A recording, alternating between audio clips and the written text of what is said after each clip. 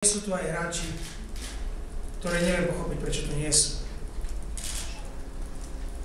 Keď sa nám hráči pred týždňom ospravedlnia, že neprídu na, na zraz, lebo sú zranení a tých istých hráčov vidím počas týždňa hrajú viac ako 20 minút na lade, rozhodujú zápasy za kluby, cez to všetko neprídu reprezentovať, tak ja osobne môj názor pre to pochopenie nemám.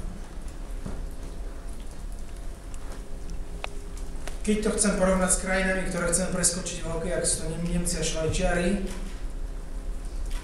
a to už nehovorím o Kanadianoch alebo, alebo nejakých Američanoch, je veľká hrdosť reprezentovať národné mústvo. A tomu to dneska trochu chýba. Nie u všetkých hráčoch, ale pár tu tých je hráčov, ktorí dneska vedia, že majú 100% mústvo v národnom národiaku a nemusia na nejaké zrazy chodiť.